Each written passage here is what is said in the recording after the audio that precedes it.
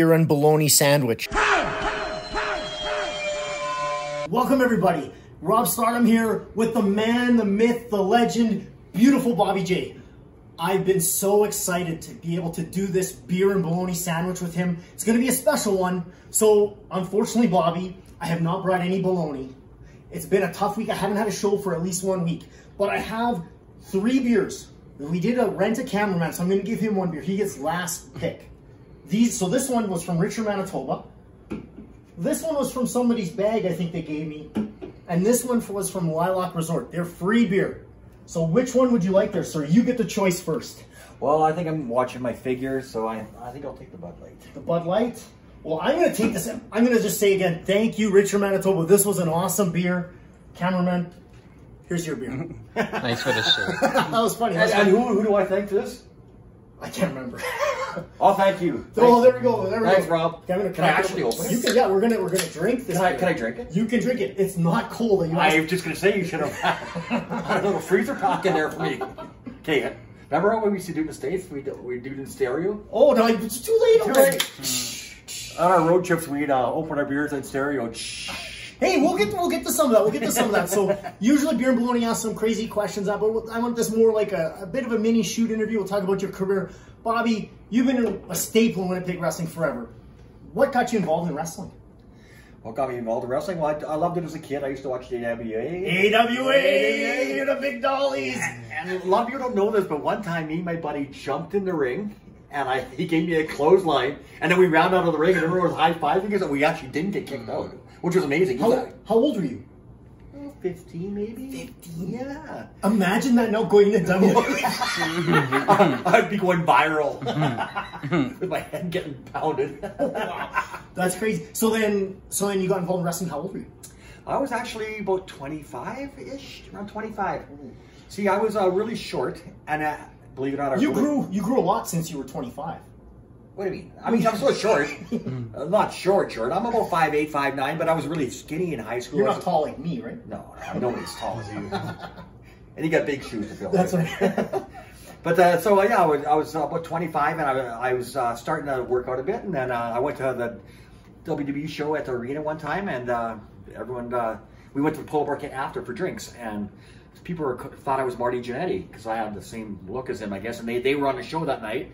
So then uh, a bunch of people were calling me Marty, and then uh, the Nasty Boys are calling me Marty, and then and then uh, this fan even bought me a beer. And then when Marty came out, the fan just looked at both of us and went, "What the?" he went, "Holy shit!" And then me and Marty were talking and that, and we laughed about it. And when I did WWE a few years later, he he remembered me because Really? because we were kind of like we were almost like brothers, looks wise anyway.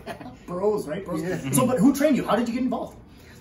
So I, I first I went to Tony Condello, legendary promoter Tony Condello, and he, Ah. wa- eh, and he wanted more money than I had, like way more. So, so then somebody saw an ad in the paper saying pro, pro wrestlers want training or something along those lines, sure. and it ended up being Walter Shevchuk, who was Walter the Psycho. He used to run New, New Brand Wrestling Yeah, yeah, yeah. and stuff. So I gave him two hundred dollars.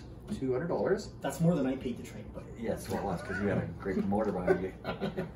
and uh, so uh, anyway, so then I went. uh, I gave him two hundred bucks. He showed me how to lock up. Then he basically put me under the tutelage of uh, of um, the Frog, Terry Tomko. His dad was a promoter in Winnipeg for the AWA. Al Tomko. Yes, and uh, so I'm, I'm actually first matches with him under a mask called the Zodiac, and apparently Al Tomko was called the Zodiac as well. So How much training did you have? not enough. but I was uh, learning on the fly. Like we were doing three bar shows a week in Winnipeg, and you'd work twice. You'd work a, a, a singles match, and then a, and then a, like a six man slam. He called it the Slamabama Tagarama. Marty Goldstein will remember that. or Battle Royal, right? Uh, No, it was usually just a six man. And, and I remember one time the, the frog was mad at me and he didn't let me go into six man, and I was almost crying. I was like, what? Like, because I, want to get my two matches a night, six matches a week. So I in the first year, I got a ton of work, like Oh, I ton. Didn't make any money, but I made I got a lot of work. And then then one day I decided I wanted to, to uh, I wanted to move away from them and uh, work with Tony Condello. So Because that was a big time, right? TV. Tony had big TV at that time. he had TV at that time. And, yeah. names probably. Not no, not yet. No, not really. But uh, to me, Bob Brown was the name. He was a, To me too. he, Bulldog Bob Brown was a name in my very first match for Tony Condello. It was me and Easy Rider in Red Lake, Ontario, or somewhere in Ontario. And we went against the natural Don Callis, the Jackal Cyrus, and he teamed up with Bulldog Bob Brown. Guess what? It was heat on the kid that night. I had to take all the heat. Hot tag to easy. but it was fun. It was good. I, I want to jump to the chaser. Tell me your opinion of Don Callis. I'm not a fan of Don Callis. He, uh, I don't know, he was always thought he was better than us. So he probably was, but he always had this. Uh, he wasn't better than you, Bob. You're a good guy. I don't care what anybody says. oh says. yeah, and that's another thing we're going to get into. Just stealing my catchphrases. I've been, I've been telling you that since the day I met you. but no, yeah, I just thought he, I thought he was very talented, great on the mic, but he just looked down on the local guys. Like, and I was a local guy, so he just he just thought I was just nothing, right? Like, Yeah. and, and sure, he made a lot of money in the business. He still is. So good for him, but. Personally, I don't know. I just, I, I would be having a beer with him to tell you the truth. Yeah, he's not my type. Yeah. So, sorry, sorry. So, who all did you get to work for for Condello? Uh, you get to work with? Uh, mostly it was uh, Dave Pinsky under a hood. Dave He- Pinsky, I give credit for training me. Yeah, Dave's a great guy. Yeah. I don't care what anything says about him either. no, I love Dave. He was a very comical guy and he, aw- he awesome guy. Like, Yeah. and then so there was I worked him also. I worked uh, Pampero El Flip- Flippo. What's he called? The wild Man Furpo. Yeah, Furpo, Furpo. I He's worked with him once, and Red Bastien Jr. I loved. Rest in peace, Red. But I loved working with him. We had some really good matches. I got one on YouTube. You got to check it out. Awesome, awesome. Hold on, I just want to go back to Furpo. So Furpo is like, I don't know, 65 years old. He's still wrestling. Why aren't you still wrestling, kid? Well, never say never. Oh! But I just haven't wrestled since before the pandemic, and just the way timing's worked out. And That's right. There's been some shows that have come up that I've been asked to do, and I just, just the way my life's been working out right now, I just uh, haven't wrestled. So So Condello had some future stars. He had Lance Storm. He had Chris Jericho. He had Edge. He had Christian. He had Rhino. Dr. Luther. You get to work with any of those guys? uh, I was never on a show with Edge or Christian or Rhino for Tony. Later on, I was on a show with sure, her, uh, with it, but uh, I did team up with Chris Jericho once, one and zero, undefeated. Mark that your uh, record books. I think Jericho even said in his podcast, he mentioned you, I think. Yeah, and uh, it's actually if you if you look at his book, he's got his list of matches. I'm in there. but then there was him and Lance. I remember when him and Lance came in, they were just so much better than all of us. It was like ridiculous how good they were already. And he was just a well, I guess he was about two or three years in the biz by the time I met him. But yeah, they were just unbelievable how good they were. And obviously, they had very good careers to, to, to show for Yeah, now. for sure, for sure. Do you, you told me this story, I'm going to kind of cue it up, and I hope you remember it, because we've not talked about this before, kind of like when we wrestled in the, in the ring. so you were telling a story about you were on the bus for Condello, and you had to pee, and you were a rookie. Remember that story? Yes, that was actually the same the same show that I was talking about where I got to wrestle my very first match with, with Bob Brown and uh, the Natural, and we were going. Uh, back then, you needed uh, licenses and all this insurance crap to, to wrestle in Ontario, but. Condello was kayfabing, and so we, he didn't tell the boys anywhere where we were going. He had this big school bus. You put the ring in it. Uh, we went in the center, and then there were some boys at the front in, in seats, and some were at the very back. So I was talking to my buddy Brian Jewell, who we went to school together. We ended up being tag team champions together, and uh, yeah, we, we were roommates at one point even before I got into business. And he, I said to him, because Brian like back then he said like to tilt and a few drinks. I think he doesn't drink anymore. He Good doesn't drink Brian. anymore. That's awesome, that. Brian. Good for you. And uh, but anyway, uh, I asked him, do, do, you, do these guys like drink on the road? Because I always. I like to have a couple drinks on the road, like just No. to, just to, it speeds it up, right? Like it, like if you got an eight-hour drive or six-hour drive, you have four, six, eight drinks. Hey, that, that it speeds it up. So I think he used to be a shy guy a little bit, and I think drinking maybe gets you and, fired and up. that was exactly it too. I was I was a pretty shy guy, and, and so then I figured I I, I, drink some paralyzer, so I wanted to kayfabe it uh, in case the cops pulled us over. So I had I had a big paralyzer in this big big gold cup. This is the 80s. It was okay to drink and drive back then. I know I wasn't driving. Oh, there. Oh, you were drinking in a vehicle. No, Okay, so- I, we were in a big school bus. Okay, that's okay. It's okay to drink in a bus even in 2022. You to have a bathroom, so Oh. I was- that's why I had it in the kayfabe. Okay, there we go. Sorry. breaking the law. breaking all. so then, uh, so at, at one point I was really shy. We were going like it was nonstop or whatever. They wanted to get to where where they were going, and I had to had to go. It was like I had to pee. So I was like, I finished off at paralyzed. I'm like squirming. He's like, Do I tell him I gotta like, hello, I gotta go pee? I said, Ah, I'll just, I'll just pee in this big gulp cup. So I. I, I let it all out. It was like good one. Well, two thirds full. So now it's getting warm, and I'm, I'm worried that the, the, the there's wax around the bottom, and you know how eventually it'll start dripping, and it's like I don't want to be got pee dripping all over me. So I looked You're at not into that, right? No, I'm not. I did know a girl once was. Come on. I thought we were supposed to keep this uh, on the up and up. Up and up, up and up. Okay, so I take it. I I, I rolled out. I, not, I I think I did, there was those ones where you have to pull halfway down into the school bus. Yeah, yeah, for sure, bus. for sure. So I, I, I went looked- to school. Didn't help. so anyway, I uh, I uh, I took. Uh, hang on here. I need to- I'm almost done mine. Again, thank you, Richard Manitoba. Rainier beer. I highly recommend it. If you want to sponsor me, Rainier, I'm up for free beer. And thanks Bud Light for this free beer too. You can sponsor me They and my sports league, goldensports.com. They might have a bigger budget than me. So okay, so anyway, so I want to get rid of this warm big gulp cup. Yeah, full of urine. full of urine. So I put the window down and I go, because we're in the middle of nowhere. It's gonna hit, go in a ditch. We're safe. Sure. I didn't realize that I guess the wind, the way the wind, the wind goes, it alters the course of this, uh. of this urine-filled big gulp cup.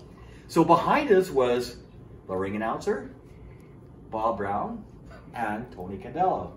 Because I guess the office they follow behind, and they have the ring announcer. They use his vehicle Yeah, for sure. That's because that's the pecking order, right? So, so then all of a sudden, I didn't even know, realize it went, whew, and I guess it hit the windshield of, the- of their vehicle behind us. So, so then uh, I, I'm, I'm just, I'm just, uh, all of a sudden the, the, the, the I guess I pull the front and then the school bus stops, and all of a sudden the ring announcer gets in and just starts screaming, "Who threw that?" They did not know it's piss. They might, they probably know now. They probably heard. At the time, they just thought it was like a drink going out the window. Condello was pissed. they were all pissed. and and so I guess uh, he freaked out, and I just put out my hands and it was me, and I got scolded like a, like a, I felt like I was in school. and then we just went on, and like he, like they were freaking because they could have like it could have smashed their window. You don't Sure, know, yeah, like- hit the ditch. and we would have never known it. And then who knows?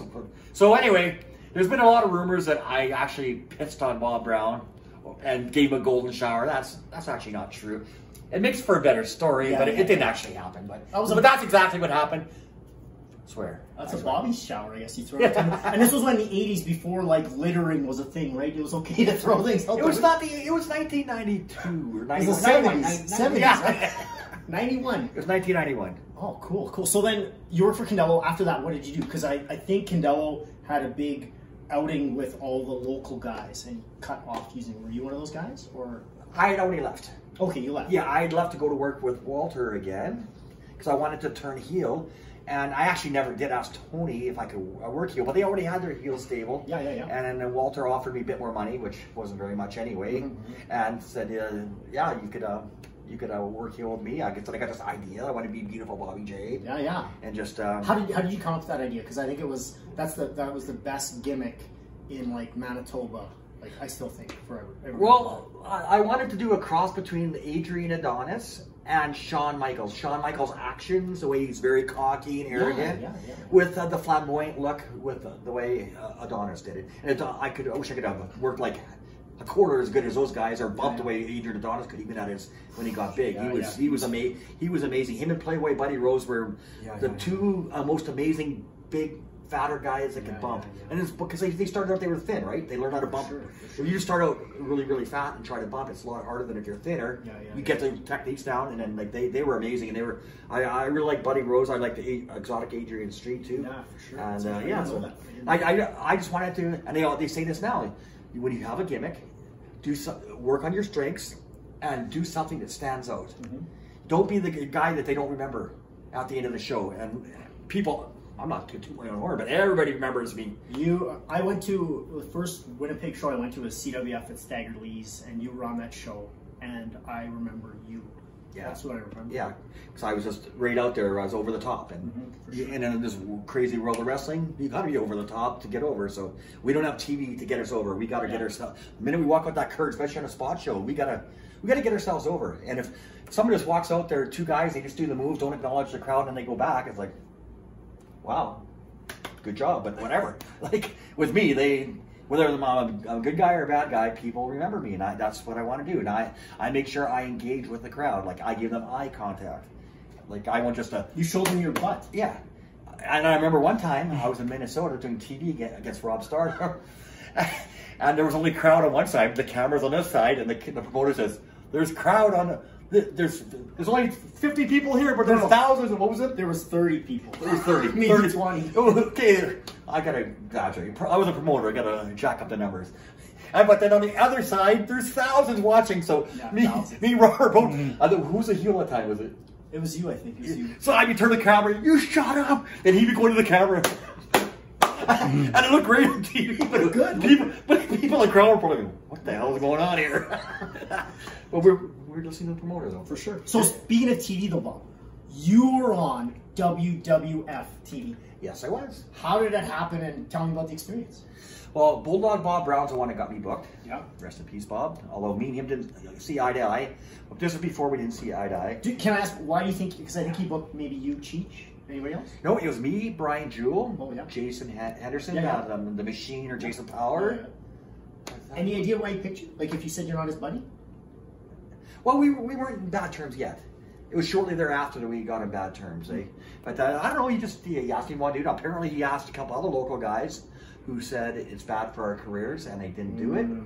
And you know what? They got no further than me. Yeah. He knows you're a media whore, maybe. Maybe. I wasn't back then. Oh. There wasn't even the internet back That's then. right. That's right. That's But right. but they also, they said it was bad for their careers, and but they went no further than me, if not not as far as me.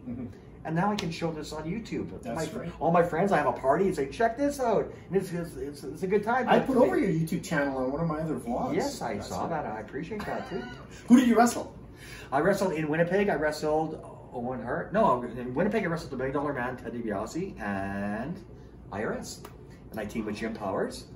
I screwed up the finish on that because they always, I was hoping to get the money shoved in my mouth, but they did a thing where he, uh, IRS did a flying clothesline. It's like the only time he ever did that finish. And he came from the wrong side, so I took a stupid, terrible bump, so they, we did it over again. They said, okay, we're going to do it over again. So they worked me over a bit, did it again, and they just edited out the bad bump. And That's amazing. I've heard of that. Heard Yeah. that. So, so like, who else did you work? And then, then Brandon, I worked uh, Owen Hart and Koko B. Ware with some guy from Minnesota who screwed up that match so bad I believe I couldn't believe it aired. But they uh, they uh, edited it totally out, and I wasn't supposed to take the pin in it because but the other guy they Owen elbowed him in the face and then threw him into my corner. And then the ref said, "You're taking a pin, kid," because I wasn't supposed to. and then what? So I actually got had it pretty good with them because I'm doing the finish. And Yeah, yeah. luckily, I watched their stuff on TV, so I knew what their finish was. For sure, yeah, yeah, And uh, yeah, so that that was a really really bad match, but it worked out. So, and then I I went to Regina and I wasn't used there, but I still got paid. That was like three weeks later, and then uh, then we went to Saskatoon, and uh, I worked with the head shrinkers who were pretty stiff with me, Really? really stiff with that. And then uh, that was the night that Bret Hart won the title from uh, Ric Flair? Ric Flair, and I, and I was lit, and I, I didn't know that. yes, and I swear to God, I was watching through the curtain with Macho Man Randy Savage. Come on! I'm not even joking. I never, I told you this. Never, Come on. never, You're never, working me now. never, Never, Macho Man Randy Savage, my favorite wrestler. And- Bret Hart, oh my god, like this is ridiculous. And then it, ridiculous. they "How you doing, Marty?" Come on! Because all the boys are calling me Marty. He goes, "Because you've heard a lot of that lately." Said, "Oh yeah, everywhere I go." yeah. Oh, I can't believe that's Yeah, crazy. so we, we watched it there, and then yeah, there was monitors in the back, but there was a little curtain away where it just it was. and you were right, Randy wanted to hang out with you, right? I saw me. He came right up to me and said, "Meet my wife, Elizabeth." Ooh, yeah. I never, and I remember Shawn Michaels said, "Hey, Mar- hey, Mar," he "Hey, Marty, you're retaining a little bit of water." This is this is crazy. I'm And actually, Marty returned on that show to, to get back because I could get fired for whatever, and then because Shawn had turned on him. Then Marty came back to that show, and then Shawn was looking in a mirror, and then Marty's behind him. He do a big boom, boom, boom. So I saw I met Marty again that night. So I can't. I'm I'm I'm in shock. So, I, what, what was the money like? Uh, should I tell you the truth? Yeah, sure. I mean, We got our well. So what happens? is You make more money off the trans. That's why Bob Brown did all the driving. He got the gas money. Because I remember when uh, who was it? I think Saxon and Cheech went to Calgary the year before, and they made more money off the trans than their actual payoff. Because they give them really good mileage. But I, I got like 150 Canadian cash. but that's in the early 1990 90s. 1992, yeah. So. That's good money. That's like think about inflate. What's inflation now? A million percent. That's like you got 1.5 million dollars. That's it. And it, and, and it was right in my hometown to one one show. And did you have friends and family at the show? Not really, because uh, no, I had a few, but back then there was no internet, like no and no cell phones, so That's- that's right, that's you don't really get a hold of too many people, right? So So then you do the TV. Did you get recognized by people? yes, I was bartending at the Cavalier Hotel, and uh, tons of people said, "I saw you on TV. I saw you on TV," and And then uh, yeah, so and then Did that help you like get some girlfriends or No. or nothing like that? Or- I had I was actually I always seemed to have a girlfriend. I, was never really single till last two years. Well, I'm not single right now, but yeah. And then I was married for many years. You know that. You were the wild single guy, and I was, No, no, and no. I was living vicariously through you. No, no. But no. now- I'm living through you. That's, the other way. that's- The tables have turned. So you did WWF. You're you're a big time indie guy in Winnipeg. Did that help you get more bookings, or did when did you go to the CWF? Like when did all this stuff happen? Well, Winnipeg was really small, so it was pretty much if you were a worker, you've been around for a bit, it was easy to get booked. As long as you didn't have any killer heat with anybody, you just go and ask whoever's running to, if you can Yeah, yeah, yeah. if you can work, and then you do. So then when did you start working for Ernie? That was the next step, right, Ernie? Or River City Wrestling? maybe? River City Wrestling, yeah, yeah. So I turned heel with Wayne Staten, River City Wrestling. Yeah, that's where I got my stuff. Oh no, no, it was with uh, Walter. But then Wayne started running, and then I, I started working with him. And did you go there because he had TV? Or Well, I always liked Wayne. Like I, I've known Wayne since he used to I work. like at, too. Yeah, he he uh, worked at the community center at Chalmers. I used to go there and play hockey and stuff. And he was like just a part time job. He was working in the office there. he's a good guy. I don't care what you've been saying. Oh, I don't know. I've said lots. I Sorry, Wayne.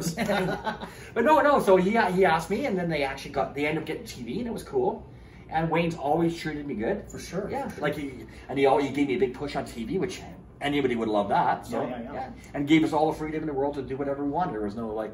We just got the finishes basically. We could do whatever we wanted, eh? And it was me and Jewel, we're a tag team. Yeah. Then Jewel, I turned on Jewel, and he became a baby face. And then, then I guess Wayne shut down, and then I don't know how there was a whole bunch of drama and stuff. But eventually Ernie started up, and I started working with him. And then, then I, I lost a ton of weight because my weight goes up and down like a yo-yo. It's up again. I'm Oprah. That's my wife calls me Oprah. I'm on the Oprah diet. Go up and down, Yeah. up and down. You know. But then I lost when I was working for Ernie. I, it was the first time I'd ever lost a ton. I, I was never really fat, then I got really fat, and then I lost a whole bunch of weight, and then I turned baby face, and then it was kind of different. But I didn't do the beautiful Bobby. I was just a more of a white meat baby face for at that time, and Yeah, yeah. I didn't like it. And now I'm a baby face, and I just do my my thing. So you got to be like Stone Cold Steve Austin. He works like a heel, but he's a baby face. yeah, well, I just That's do like you, beautiful Bobby. Yeah, I think he got that from you watching Oh, you. wow.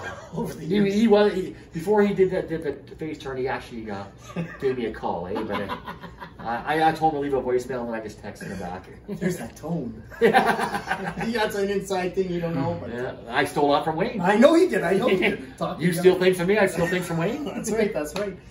So, Wayne, if you're listening, thank you for all you've done for me. Same with Tony Canoa. Yeah, same to you. Same Rob Stardom. Oh, yeah. SPW promoter. Yeah. Thank you. Danny Warren, Danny Duggan, thank you. We're not at the end yet. Don't Oh, take it until the end. Okay, We're, well, we're only like Okay, can we?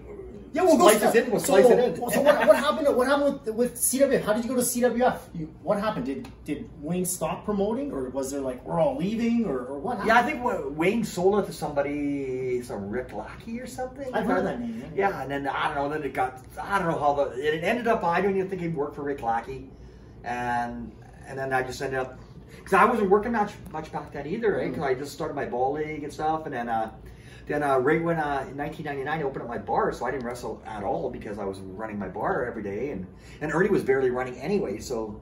Because he got complacent because there was no competition. Because Yeah, yeah. Tony would just do his odd thing, but he wasn't really running regularly anymore. So A, a fun fact: I have one of your Bobby J Bar shirts. really, You you gave it to me. I remember I was a poor young wrestler. Like, here, Rob, here's some of my pants, and you have lost a ton of weight. So like, here's some of my workout pants. Yeah. Here's some shirts. Um, so it's beat to hell that, that Bobby J shirt. It's like it's gray. It's just beat to hell. My wife wants to throw it out all the time. Yeah. I'm gonna throw this shirt out. No, no, no. I'm gonna keep that shirt forever. oh, there's a there's a menu out there. Oh, that's awesome. That's There's a awesome. menu, yeah. So, what made you start running your own promotion? Well, Wayne, after a while, he got he got bored as always. He's, he would start and stop, and he wanted to sell. So I said, "Hey, I'll." I'll I just closed my bar down, and I said, "Hey, I'll, I'll buy your ring, and, and I'll take over your venue. And you got a bunch of young rookies coming up, and I'll run." Good-looking young guys like me. Good looking. like- You were you were very uh, very handsome. I was a handsome young guy. Now you're ruggedly handsome. rugged. I'm rugged, rugged. rugged Rob. You well, weren't you rugged Rob Stardom? I was at one point. At one point. Yeah, yeah, yeah. I was over then too, really over. Yeah. So then you started. You you built you built the ring. though. You didn't buy a ring. Well, because Wayne, what happened was Wayne was going to sell it to me, And so I got a ring truck, this old milk truck, and I, I I'll go I to that truck around. Yes. You made a living for that truck. We'll get there. We'll get there. so then, I, then I, when I went to, I said, okay, I'm ready. He said, well, I got a problem. I kind of sold the ring to Ernie Todd. And I'm there, what? So, so then I was, I actually went to small claims court and I got, a, I served him with papers and everything. And I was going to sue him, but there, there was even the case. eh? And then, then we just, me and him just made up and whatever. And I got my own ring built. And Yeah, uh, yeah. he apparently had a sweet deal with Ernie where Ernie was paying a certain amount a month. Crazy money. Yeah, so- it was good. It was good. I don't blame Wayne for doing it. So I, and uh, yeah, so they uh, they did that, and I started up my promotion. So your promotion, if if nobody knows, Top Rope Championship Wrestling, they started off Kenny Omega, Sarah Stock. I mean, those are the two names that really you think of when they come come out of Winnipeg. For, and it was all Bobby J. But you had an aggressive schedule. You ran a lot of shows. I don't. I'm guessing there wasn't a lot of money for you to be made there, but because you had a great other outside of wrestling career you were doing, and you even gave a young guy like me a living. Like, why did you run so many shows and there wasn't a lot of money? Like, what, like what were you thinking? You brought names in, you did all this stuff. Like, Well, I was hoping to one day like to crack that uh, glass ceiling where actually we're going to start drawing and get bigger and bigger. But again, that was before the internet was just starting out, no social media, and like I, I pounded the pavement. I, I would get radio ads with Joe Aiello, and I would uh, poster everywhere. But there's only so many people in Winnipeg back then that you could you could reach out to, and to start doing too much advertising, is you weren't going to get your return. Yeah. And plus, back then it was only a five dollar ticket. When I started, it was only a five dollar ticket. Yeah, so yeah. how much money are you gonna make? Like, like I remember when we were doing the Palladium, we were getting like we get maybe 200 people a week, which packed the place. It looked awesome. Yeah. But with all the people letting their friends in free and stuff, I did a whole guest list. That like, what was I making? Like 500 dollars a week at the gate. Like, yeah, and what's that? I've got to pay 20, 30 guys a little bit of money. For sure. I have my advertising. I got. I had my uh, ring crew to pay. ring crew, you're paying me fifty bucks a night to do the ring. Plus, plus. plus, Plus, I got a van, plus a payoff. Yes, you were doing very well. was for doing yourself. well, and and I was training guys. It's crazy. And then we didn't. Oh, you never slept at the, at the training center, did you? No, never. Who was that? That was uh, Doug Bockel. uh Hillbilly Tim. Hillbilly we slept in the ring. Oh. Uh, Hillbilly Tim was out. I'm so sorry. I'm still heartbroken. Can't you tell? So how did like how did Kenny Omega get into Top Rope Championship Wrestling? I'm sure everybody wants to know that. Uh, I- see, Vance Nevada was my main guy.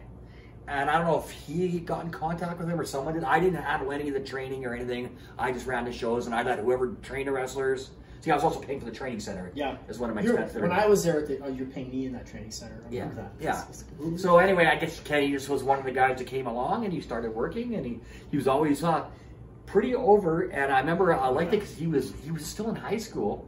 So whenever we have our big shows, he would sell a shit ton of tickets. Yeah, yeah. And I'd get a percentage. So he was one of my favorite wrestlers. He's pretty good too. But, yeah, but no, he was really, really good. But see, my biggest thing back then is I didn't give it. I was almost like WCW in a s- sense that I didn't give the the, the smaller guys enough respect. Mm-hmm. I, I was I treated them just like WCW did, where they were just kind of they Yeah, did yeah. great matches, but they were the undercard guys, and I'd give the other guys the main event spots. And I and then I saw when PCW elevated them and they, they worked out really well. I kind of kicked myself. I probably should have done the same. I don't know if they were ready at that point though. Yeah, that's with true. right? So what about Sarah Stock? How'd you get her? Well, that that one I can honestly say I'm responsible for Sarah Stock getting into business. Kenny Omega, no. I just happen to be running shows. So I I dropped off a tape of the of the, of the matches at uh, the Wise Guys on campus. It's a bar at the Yeah, yeah, University of Manitoba. So all of a sudden it had it had a big resume or whatever, and it had a thing. So all of a sudden I get a call from her, and she said she uh, she saw this tape. She was a waitress there, Yeah, yeah. and she wanted to get the business. So then I said, sure. And at that point we just lost all almost our whole crew to Yeah, yeah, PCW. yeah. So it's like you know what.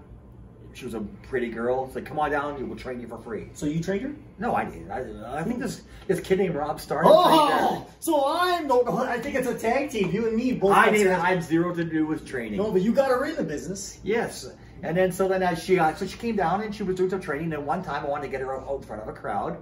So I I told her we were Valley Gardens, tiny crowd or whatever, but it was it was a crowd. Yeah. And I or, or a gathering. Sure. and I, I told her, here's what you're gonna do. You're gonna go out, we're gonna introduce you as a, as a newest up and coming woman wrestler in Canada. Yeah, yeah. And then you're gonna get cut off by Daisy Desire. a g- who was a, a big a bigger girl who was a, who, re- who wrestled, Yeah, yeah. and she's gonna attack you and give you a DDT. And Sarah says, "What's a DDT?" It's like, kid, you never taught her how to do a DDT. It's your fault. She wasn't ready for that probably. But anyway, so then now that's why. And then she got she hooked up with I guess with Eddie Watts, Yeah, yeah, yeah. Eddie Watts and Cheech. Cheech, they got her the Maritimes. And she went to the Maritimes like right away, and then she was just ambitious and got herself booked everywhere, and ended up in Mexico, and You know, she's traveled. Forget around. about Sarah Stock. I want to talk about DDTs because you said you broke Sarah Stock into the business and she didn't know about a DDT. Yes. So I wrestled you on TV in Minnesota Yes. and said DDT. Why was there heat? You were all mad at me. Well, because he shoots me off the rope.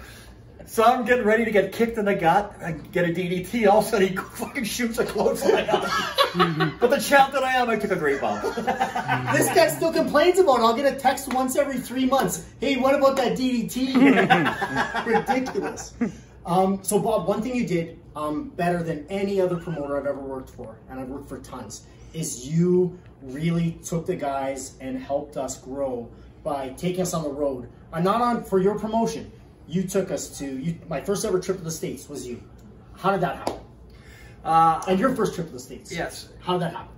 I just, uh, I guess Vance gave me a bunch of numbers because because Vance, Vance Nevada, like some people don't like him. I, I like Vance. Did you get his book? Did you get his book yet? No, Did you- no, I got his book. I, I, I know I've got to order it still. But yeah, he did so much for me. Like he was made my job so much easier. Yeah, for sure, for and he, I guess, I think it was him that got some numbers for me for all over the place because there was no internet. Like it was just starting out. And I guess I got a hold of a couple promoters and, and we booked some stuff and we had a little difficulties getting over the border But uh, Didn't Ringma- wasn't Ringmasters involved or something, or Easy Rider or something, or didn't they send a tape to or Minnesota? Didn't Maybe that was after when you faved me and went down with Kenny Omega to the States and I heard about it later. It's like, oh, thanks, kid, for getting me booked. For the record, that's the first time Kenny Omega ever went to the United States. I took him, but I don't want to take that credit. Forget that. He, he won't even reply to my email anymore. But that's a different story.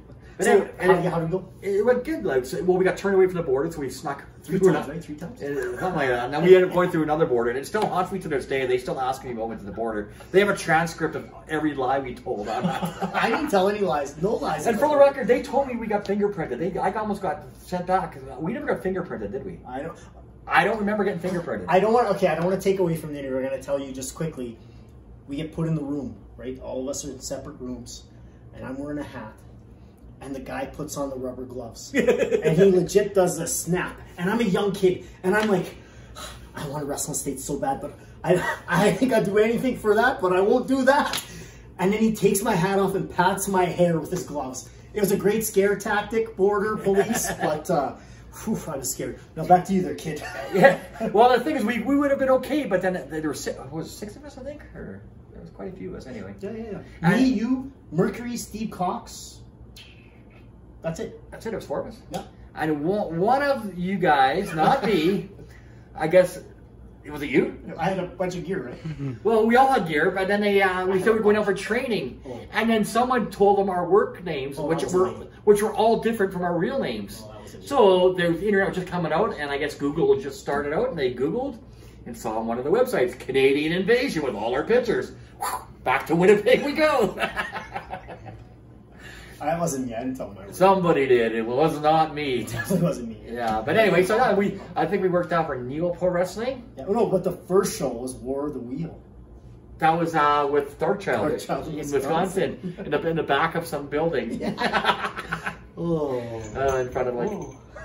sorry, kid. and then then we did uh, Neo Pro. What Neo Pro, else? yeah, that's on. There- That's on YouTube. Yeah, there was a lot of good talent on that show. Like, Forget about it, like yeah. who was it? Mr. Kennedy was on that Ken show. Anderson, Shawn Daivari, Austin Aries, ODB, Lacey, Rain, Horse of Psychopath, um, Sick Nick Mondo, Dysfunction, ton, Yeah. tons of guys. Tons And of guys. and who who who got over? We did. we got pretty old.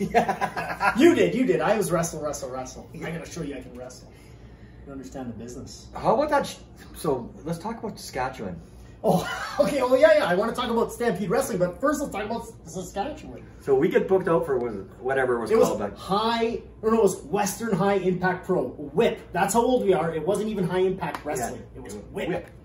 So we got booked probably in the opener. Uh, It was the opener. Yeah, because there was a few Winnipeg guys. We all went down together, and this kid, the best babyface you ever saw that night, he was so over. Yeah. And uh, I guess he had a good. heel. He had a good, heel. good heel carrying him that night. But, It was 100%. but yeah, we had like some of the heat of the night. I'd say It, it wasn't some. It was the heat of the night. These Saskatchewan guys, I'm they could they couldn't follow They couldn't. There's, we, got, we got heat over the heat of the night. Yeah, You said we did got too much heat for being in the opener. yeah. Yeah. I don't think we did any moves, but uh, you did. You did your Bobby Salt. I'll call it. And, uh, Don't do so, it anymore. so what about like Stampede Wrestling? So one of my bucket lists was to wrestle for Stampede Wrestling, and I could never have done that without you. So how did that happen? Uh, Johnny Devine hooked that up. Really? See, the way I, I met Johnny Devine is I was at uh, we were doing a wrestling show with uh, Social at Park City. Do you remember that? Dr. Luther was on it. Uh. Yeah, yeah, yeah. And uh, Don Callis was on it. Kenny Omega was on it. Uh, and that Kenny was just that was his home community center. Yeah. actually. So we're gonna do this gimmick where we we serve booze, but we do wrestling, and then after that we tear the ring down and it's a social. And uh, well, yeah, and then Ernie Todd reported me to the liquor commission, so I couldn't sell booze till after the ring was set tear down. But uh, yeah, so Johnny Devine, his mom was at the work at the liquor commission, and she's she's wrestling. She was my son wrestles uh, in Calgary, and his name is Hot Shot Johnny Devine. And back then they were just Stampede was on TV, A channel. A channel. And I, I said, oh yeah, so I said, well, tell him he's ever in town uh, to look me up. And so he came in and wrestled some guys. That's all the Calgary guys came in. Yeah, yeah. Then he got me hooked up with the Hearts uh, for us to go down and get a tour of the dungeon, take some bumps, which I didn't. I just watched. I took bumps. And yeah, you took some bumps, and then we all had a, we all went and did a show for them at the what, what was that place called? The Pavilion or I don't know what it was I don't know. I don't The, know. the Silver Dollar Casino. Yeah, I we'll, we'll call it that. This- I actually went and wrestled for them one other time, and I wrestled Ross Hart, really? and he was called Rory Hunter. He changed his name for some reason. And I worked him. So I'll, I'll talk about Bobby more because he's, he's not putting it over. So Bobby paid all the trans, paid her hotels, probably bought all the booze. Not that there there, there was a lot of booze. we got pulled over too. oh, hey, hey, drinking it? No, no, no. he had a t- we had a TV up in his van. yes, yes. We had we had, I had this TV, the old ones, the little twelve inch ones, and you have a you have the It cigarette lighter. yeah, and then you do the V, you have the tape you can put underneath, and we're watching some uh, Some- wrestling tapes Yeah, wrestling wrestling tapes. and some other stuff. Yeah, but Bobby pays for all this, and then uh, Hearts paid for a wrestling license. I don't know how much it cost. It might even be free. I don't know, but I I think they paid for it. And and he didn't even ask for our payoffs when when the Hearts paid us ten bucks each. he didn't ask for the ten bucks. He's a nice guy. Yeah, he paid for it all. I got to live our dream. I'm getting it back ten Yeah, that. that's right. That's right. I, I mean, and there was lots of talent on that show too, and it's like it was a dream come true when you really think about Yeah, it. yeah, it was, it was really cool. I got my tape on my match on tape. I don't know if you got. Yeah, I do, I do, Yeah. I do, I do, I do. It was, I worked quick kick Melnick. I Kurt Melnick. me and Woody worked uh, worked uh, the Myers brothers. Oh. Yeah, it was good. It was good. We met Teddy Hart, like all those guys. Yeah. It was awesome. Stu Hart was still alive. Yes, he was. Uh, he asked me if I was you know, Japanese because I was my chubby cheeks. I know who else did. Mad Dog Vachon thought I was Japanese too. Yes. He's a guy I never met. I wish I, I wish I could. I only met him when Tony had his benefit show at the summer forum, and he was a pretty good on his last days. Really? Yeah, and I went up and talked to him because it was an honor to meet him and stuff. And So when you were running top rope, you brought in a lot of names. So what was your experience with uh, Sunny? I have no experience with Sunny because she no-showed twice and left a very drunken message for Joe Aiello on his voicemail for him to play on the air, which she called me right away and said, I cannot air that. and then I, uh, I, uh, I buried him on the internet because it was funny. There was like The internet was big now. it was just him. started, but yeah, uh, I sent it to some dirt sheet places. Did you bury him as Bobby J or like a different name, like Fudge or something? No, there's, only- there's only one fudge in Winnipeg. and one tonic. but yeah, so then, and then uh, Chris Candido called me and just said, if you, if you put any more on the internet, I'm going to break your legs. really? And he died a couple years later from a broken leg blood clot, pretty The crazy thing is you broke your leg too. I did. That's Chris. Teaming with Joey Royale. That's, oh, the late great. Yeah, Yeah. awesome, awesome. What about Davey Boy Smith? Davey Boy Smith. So how I got a hold of him is on a night of doubles. I uh, when they no showed, somebody gave me Road Warrior Animals or Hawks an Animals phone number, so I called him. Said, "Can you get here from Minneapolis? A quick flight?" But they, there's no way they could do it. He goes, "You know what? I've got Davey Boy Smith's number, and he's in Calgary. Do you want it?"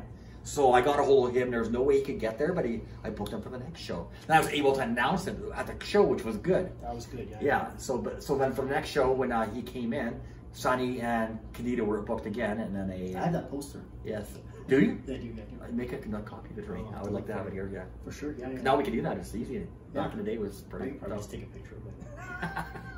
but anyway, so yeah, they no showed and like whatever. I spent I sent them about two hundred dollars American each for deposit. They were only getting like four hundred or something each, and they got a plane ticket which they they were able to switch over. So why would they come for the extra two hundred dollars, right? They got the plane ticket, they got the thing. That was dumb part of me. Uh, I never sent a deposit again after that. So So, but back to Davey. So, so he came and worked for us, or Yes. for you, right? Yep. I, I know I got the opportunity to work for him, and it's one of the I'd say highlights of my career. Again, thanks to you, there, kid. I I got to tell you something you don't know.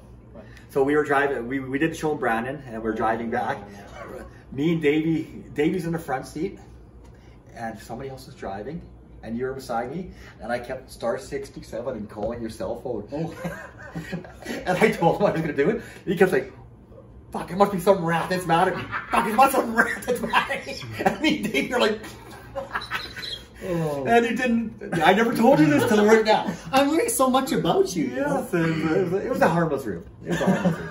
Yeah, no. So he wor- worked Brandon, and, he did, um, and then he worked. We, uh, we partied too. We partied hard. yes. Like, yeah, in Winnipeg especially. Yeah, Yeah, he was. Uh, I- I'm gonna be honest. I thought, man, Davey was such an awesome guy. I thought, man, I'm, I'm wrestling full time. I'm, I'm making a living as a wrestler now. Davey White Smith's my buddy, and maybe I got a chance to go somewhere, you know, and you know, shit happens. Right? yeah, But, yeah. uh, And I know when when I dropped off the airport, he. Uh, like he, he told me he would help me out. He'll Yeah, get he- some get he can get some other guys for me, whatever. yeah. I, and I, I didn't even pay much. I paid him five hundred bucks Canadian plus Yeah. a cheap flight, and then Harry was going to drive him with the mat rats. Yeah. And nobody knows this. He uh, he actually said take Harry's flight off of my payoff, and and I did. The- Whatever it was, like three hundred dollars. So instead of giving him a thousand for two nights, I gave him whatever number was, like seven hundred, and he did that out of his own pocket because Harry was only sixteen years at the time, but they were going to bring a carload of him, and he wanted his son to come with him, right? Sure. And it's so I keep putting over what you've done for me, and uh, like you introducing me to Harry. Like Harry and I used to trade VHS wrestling tapes back and forth in the cool. mail, and like Harry helped me get sponsors in Japan when I wrestled there. He helped me get a booking in the UK when I went there. Like he's he's helped me out a lot. So Yeah, I, that's I, awesome. I couldn't have done that without you, there, kid. Well, you, I, I, I set the table, but you ate, the food. Ate the food. so speaking of setting the table and eating the food, um, we talk about beer and bologna or hot dog and a handshake. Bobby, I'm going to put you on the spot here. oh, wait a minute! I'm still waiting for the. I forgot about the bologna. what the hell? Oh, hold on, hold on, hold on. So a lot of guys talk about payoffs, and let's be honest, we're not making a boatload of money. Nah. But there was one show you promoted at Morris Place Community Center. It was a baseball, um, a baseball event, and you said to us, you were giving us pay. I don't remember what the pay was, but you told us we could drink as much beer as we physically Mm. could until the end of the show. Do you remember that? Yes, I do. I'm telling you, I took advantage of that. I've got that match on tape. Oh, I can say stuff too about that day, day but I won't. what happens in Morris Place stays in Morris Place. But the funny thing is, so a lot of the guys were like, Rob, what are you doing? You're you're getting drunk. I'm like, if if we were getting paid in in uh, chicken wings, as much as we eat before the show, what do you think I'd be doing? I'd be eating those chicken wings. You're the only promoter that gave me like as much beer as I could drink. I did that another time. Maybe I wasn't booked. I don't remember. You that. were remember the Can-Am guys were in town and we went to the rookies?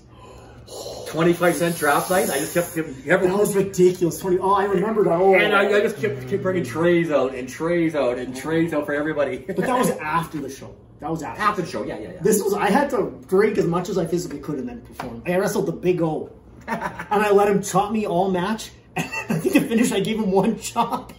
Pinned him. Big O, we're to Big O. Actually, my niece works at a movie theater. and She goes, "Yeah, my one of these uh, my bosses knows you. He used to wrestle." And then she goes, "His name's Owen." It was a big O. Big O! He's my niece's boss, so you treat her right. He had the best theme music ever because Steve Stryker did. He used to like mix music in, so it was the Big Show had that song. Oh, it's the Big Show, but he said you hear Stryker. Oh, instead of show. The Big O. Yeah, so he didn't say big. You hear the big, then Stryker. Oh. It's kind of like when you do your it's time, it's your baloney time. I might pop that, That's a lot. but I'm still waiting for my baloney. You know, I You sometimes know, have, you know what? You know how he he shows emails of people? I've been emailing him persistently for months. I wanted to be on Beer Maloney. I asked him a whole bunch of questions. He only uh, aired two of them. I, I aired some of them. I'm gonna have I'm gonna run out of content one day. I have to do a big question thing, so I, I gotta plan this stuff, right? You know, so so now what have we talked about? We talked about Stampede. We talked about Condello. Why did you stop promoting? My second, like, contrary to what a lot of people say, that PCW put me out of business. That's not true. My uh, my my my wife at the time, we just had our second son, and I have to be Mr. Mom. So I was Mr. Mom to my two-year-old daughter, and now to my newborn son because she went back to work. I didn't work during the day. I worked my uh, my business in the evenings.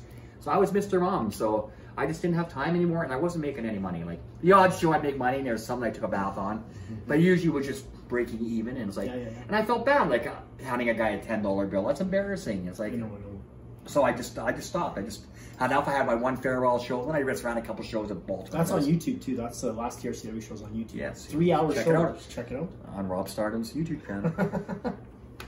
so then, so after that, you just started to work for whoever would give you some bucks when you had a bit of time. Yeah, yeah. At that point, it was I have I I. I'm not going to toot my own horn, but I, I do okay financially, so it wasn't even sure. about the money anymore. It's like I know I'm not going to get rich off it, so just uh, whenever I had the itch, I'd go out and do it. And, yeah, yeah, yeah. then uh, I started when I started working for Danny. He actually had a thing where he'd actually make me have wrestling matches. He wanted to get me over, and it actually worked. I was as a heel he worked. I got I got to work with Petey Williams, and he wanted me just to do my comedy shit, but actually work too. Yeah, for sure. And I did it, and soon the crowd just turned and started to love me. So well, you're. I went with it. I'm telling you, you're a fantastic worker. Like I, I feel strongly that you're one of the top top Winnipeg wrestlers ever. Um, you can say, okay, Kenny Omega. Kenny Omega is not a Winnipeg wrestler. He he was, but he's like internet, like he's a world renowned wrestler. Right, yeah. I mean, guys in Winnipeg. They never, they never got anywhere. Oh, come on, come on, come on. You're you're number one in my books. I don't care what anybody else says. but we traveled lots. We, we went all through the states. I actually wrestled in Vegas. That's right. That's right. At the Cauliflower Alley Club, I did a I did a battle royal and I threw B. Brian Blair out. He's the president. Yes. You went over on the president. Well, with a battle royal. I threw him off. You went over on the president. And, and, I was flirting with Ivory in the crowd. She was in the crowd and I was uh, flirting with her. oh, that's fun. You went you went a couple times cauliflower alley. A few times, yeah. Yeah, it was cool. That's cool. That's cool. Yeah. So, so what else? What else do you want to tell us? Um, what's what's in the future for Bobby J? Well, first of all, you forgot to mention, who's your best man? Oh, yeah, Bobby J's best man at my wedding. That's right. He truly is the best man. I think of him as, like, I love him like a brother. I tell him I love him. I love you, Bobby. Yeah, I love, love you. you. too. That's why I didn't bring you any bologna. I knew you'd be okay with no bologna and only brought you one beer. And how about when we met at the, in Vegas at the pool? Oh yeah, I went to I went to see you at Vegas at the pool. I was, was there on nice. vacation. He was there on a work trip. Yeah, yeah. So let's go to the Flamingo pool. There's a lot of uh, scenery there. So he came out to It was good. It was good. Yeah. good. good time. Good time. a couple of beverages there. For sure. For sure. You've worked for me in Steeltown Pro Wrestling when I ran there. Hey, you know what? I've heard you mention your business. What was it again? Sports.com. I do. I have, I have, multiple things going. First of all, I've been renting my pool out. Rob's been plugging it nicely. That's right. That's uh, right. Rental season is over, but for next year, you can email me Sports at Shaw.ca if you want to rent, rent my pool. I also run sponge hockey in the wintertime outdoors. Uh, that will be starting in December when the ice is in. If you want to put in a team or get on a team, send me email again. You'll plug that email address in on the For sure. For, well, Kildona Sports. Oh, you, better, you, better say, you better say that one more time. And I run slow pitch in the summertime. I, it's winding down. My fall league ends next week. And then I'm on vacation for until uh, December. So remember, like... Kildona Sports at Shaw.ca, my website, KildonaSports.com. Super easy. And it sounds like you're a very successful businessman. So you know I have a charity show coming up, right? Yes, you're gonna hit me up for some sponsorship. Yeah, yeah, I want some sponsorship. Swag? Yeah, swag, money, Here, anything. I'll sponsor you a party drink beer. I'm taking those cans. That's thirty cents. You better drink that can. That's gonna be thirty cents. Um, and then and then what else, what else do you gotta say? Anything you want to say to your wrestling fans? You want to plug your social media? Anything like that? Well, I got the TikTok. I got uh, Instagram. Beautiful Bobby J. Yeah, beautiful Bobby J. I guess that's how you say. Yeah, it. for sure, for sure. Yeah, and I've done the odd TikTok videos. It's been pretty funny. But uh, yeah, I'm, I'm, a big fan of it, and I need to say this again: you don't get the credit you deserve. You gave you gave a schlub like me a full time living as a pro wrestler. You gave a guy like Kenny Omega his first taste of the wrestling business. Sarah Stock. You gave tons of wrestlers an opportunity. Um, you gave guys opportunities that didn't even deserve to get that opportunity. I feel um, whoever you get in the ring with, learn something. I, I, said this to Danny Duggan, CWE, the other day. CWE, buy your hat, CWE, goes to a show. Um, that I'm the new Bobby J. I'll be the most over guy on the show. Um, you are the true king of getting over in this Yeah, business. I never had the five star match, but I had the ten star crowd reaction, and that's to me all that counts on an indie show because you don't have your TV. I, I would never be good on TV doing my gimmicks. That's too slow moving, too much work in the crowd. But on a house show, I thought I was always good, and I, I think that's why I never got my. Like I still don't get my my uh, credit, but like he, Rob's but the only one that really puts me over. Like if they'll have have a poll, who's the best wrestlers, who's Bobby this, J. I'm never in there, never. Uh, I know Greg Oliver at Slam Wrestling. He's never done an article on me ever.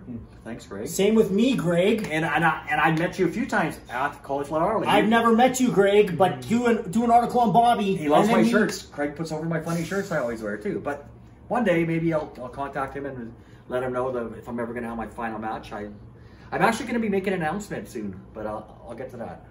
Should I tell plug it? in? That's up to you, man. That's up, this is not going to air until Sunday night or Monday morning. Okay, I'm going to be uh, appearing at Rookies. Uh, that's at uh, in Transcona, where I happen to live, and I'm going to be uh, getting in a ring and just chatting up with the fans and um, making an announcement or two. So I'm on that show too. I'm on that. Are show you? too. That's yeah. good. I'll bring bologna for that show. I promise you. Uh, we'll video. We'll video you eating. I got some bologna. Smokies in our fridge. You want to just uh, want to share a Smoky? we could, we could. Not right now. No, let's stick to the thing. Let's stick to the thing. But I really wanted to thank you in front of everybody for everything you've done in this business and, uh, and what you've done for me personally. I don't know if everybody's going to watch this. I think you have a big crowd of, of people that are going to watch from Winnipeg. I hope all the international people who are watching this actually look up what this man's done because he's super fantastic. Again, this is going to air probably Sunday or Monday, right before I leave for Tennessee. Yes, and I wanted to go too. I might fly down there. Oh. I'll just fly down. So when are you going? I'm going. I'm leaving on Tuesday. And for how long? I'm coming back on the Monday. Yeah, and see, that's my ball playoffs next Oh. weekend. Uh, If it was a week later, I was I would have been with you. Well, speaking of announcements, in February I'm going to Japan.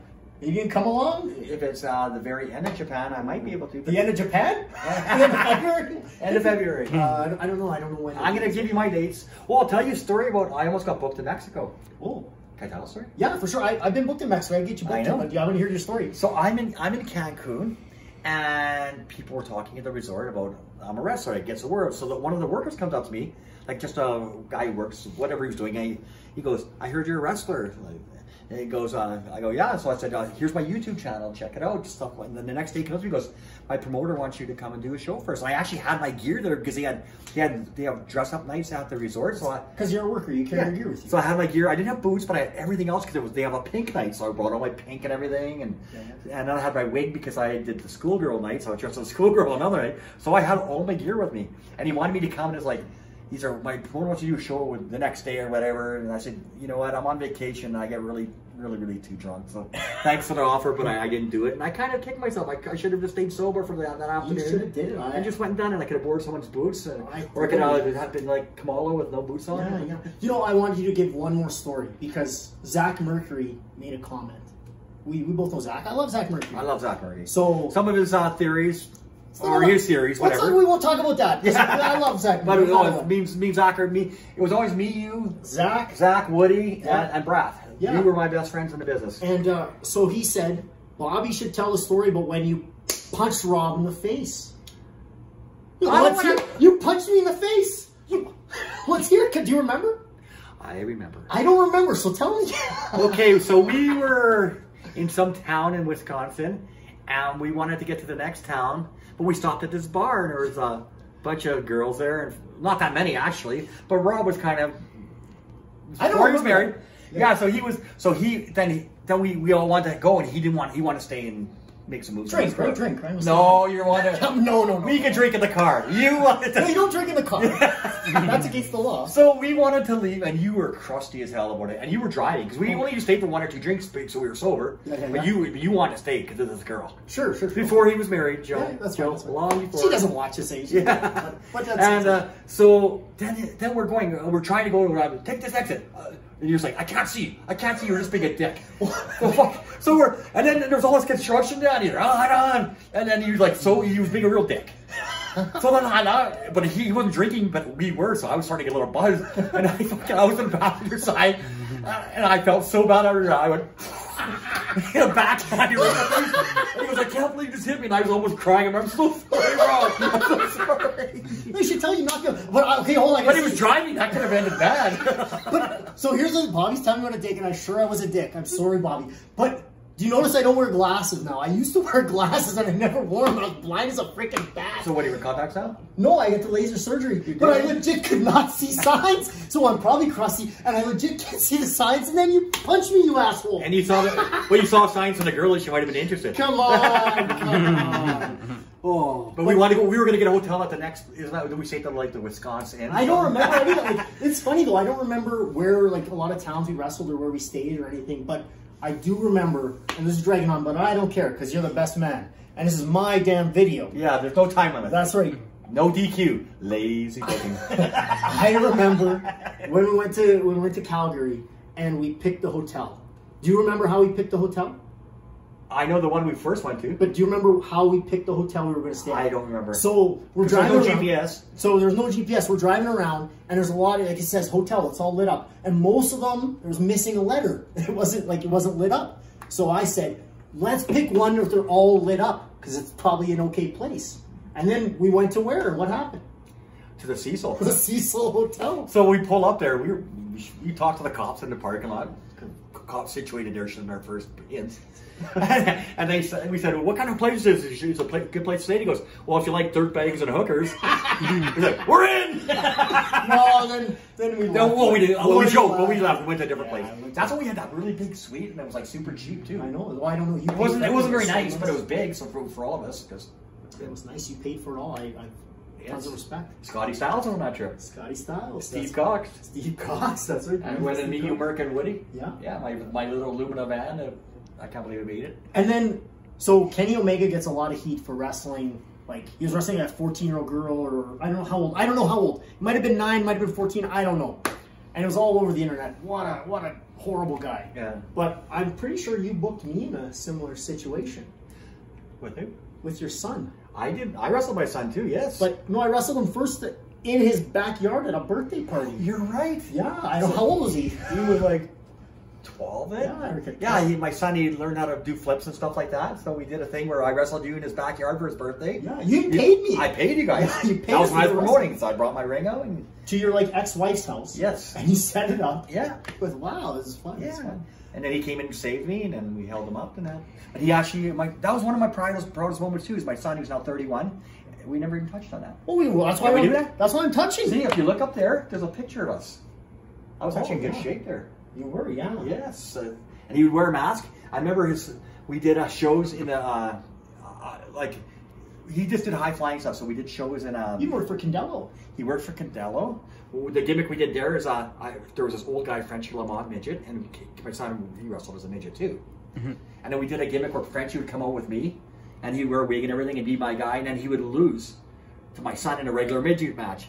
So that I would get mad at the Frenchie, start pushing him around. Yeah, yeah. Then they would they, they both double team me. Then my son would do all the high flying shit to me because he couldn't do it with Frenchie because Frenchie was For sure, for sure. and then, then he'd do all the moves and he'd pin me. Then Frenchie would go one, two, three. Then they're both baby faces and he'd sell our merch.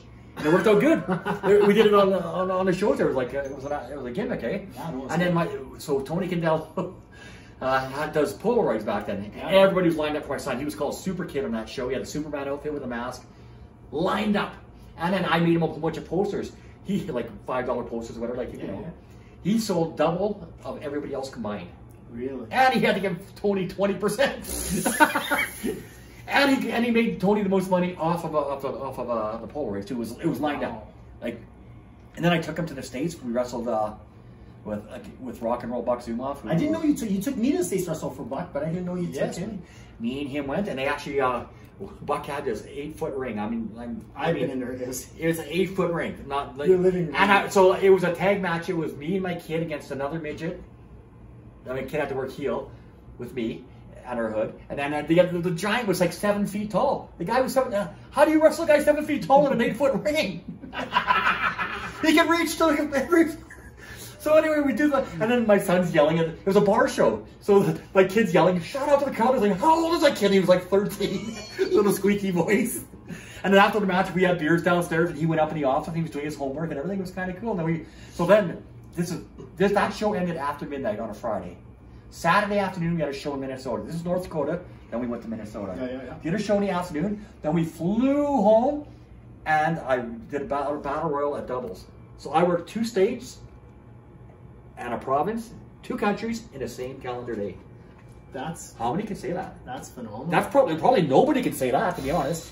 That's pretty good. Like okay, I don't want to end it, so let's do name association. Okay. Are you ready? You don't have to go long, but uh, let's hear Jim Neidhart. Jim the Anvil Neidhart. Uh, he did good business for me. He was uh, very professional with me, but he was. I'm not gonna say anything bad about the dad. For sure, for He, sure. he was he he, he wasn't. Uh, he was on. I guess he he, lo- he loves recreational stuff. I Sure. guess. What about- I never I, I never ever saw him do it, but I just guess. I want to ask you about recreational stuff, but I'm not going to. What about Paul Diamond? Uh, he was he was nice. I, I, I, I was the first one to book him when he came to Winnipeg. Vance set that up, and then he ended up going to work for Ernie, and Ernie gave him a better deal than I could, so good for him. And then I actually worked him on one of Tony Condello's shows. And I, was- when I when he was working for Ernie, I never thought he was going to shoot on me, but it was like nobody cares. Like Paul didn't care; he was a professional. Like, and Yeah, he thought because me and Ernie had people thought because Ernie had heat, and he was Ernie's guy, but it was like You booked me against them. It was a good opportunity Yeah. for me. What about Tatanka? Tatanka was uh, very, very professional, and he did everything that you asked of him. He charged a little bit too much more than I could have. I should have been paying him, but he, he, I agreed to it, so I paid him. The dollar was really crappy back then. yeah, yeah, yeah. And then I remember he wouldn't stay an extra night. We had a show on a Friday, and back then it was super expensive to stay. If you didn't stay over on a, Saturday, it was considered a business trip, and it was like next a thousand bucks for the trip back then. Jesus. And I wanted to stay on a Saturday. I was going to give him a couple. No, I'll pay me my seven fifty US, or, or or I'm going home. So he went home. But no, he, he did everything I asked him. and He's always very professional, very positive guy. Like, Yeah, yeah, yeah. like he's like he. You, should- you if you said the sky was with blue, that it's even bluer, and you know what? The sun is shining. That's just how positive he was. Eh? What about Rob Stardom? He's a good guy. I don't care what anyone says about him. Can I say one more thing? Yeah, for sure. support independent wrestling. The Kenny Omegas of uh, yesterday were were wrestling in Winnipeg, and look at them today. So anybody you see in that local wrestling ring, you might be seeing on TV, making lots of money, and you'll say, "Hey, I saw that guy when he was just starting out, or wasn't quite making it yet." So you got to support. There's so much good talent, Winnipeg, all over the world. Support local wrestling, and maybe one day you'll see me back. Who knows? Thank you for your time, kid. It's been a pleasure. That's all you wanted to ask about? Yeah, yeah. I will end it on that. Okay? On a good note. That's good. That's good. Thank And uh, just remember who your best man is. Eh? I do. I do. I do. and thanks. And as always, you're doing a great job. And cameraman, you're doing an amazing job. Rent Bobby Jay's backyard for a family swim, birthday party, grad party, bachelorette party, photo shoot, or just to relax. With your rental, you get his backyard to yourself and your guests. Heated pool, hot tub, pool toys, Wi Fi, bar fridge, barbecue, TV and bar overlooking the pool, as well as bathroom facilities. It's open for bookings starting Saturday, May 28th. Click in the link in the description for more information. Do me a solid. If you can't buy me a beer and bologna sandwich, follow me on social media.